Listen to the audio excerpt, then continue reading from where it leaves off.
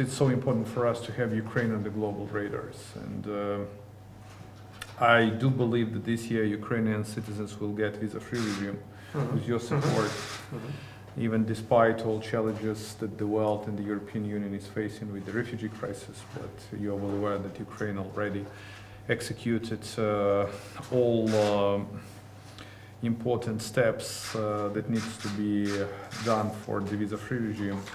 And uh, we believe that the European Commission needs to make the legal motion as quick as possible, and this year Ukrainian people is to get visa-free regime.